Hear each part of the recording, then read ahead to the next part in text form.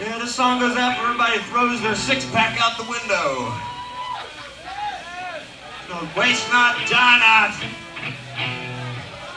Anti pollution.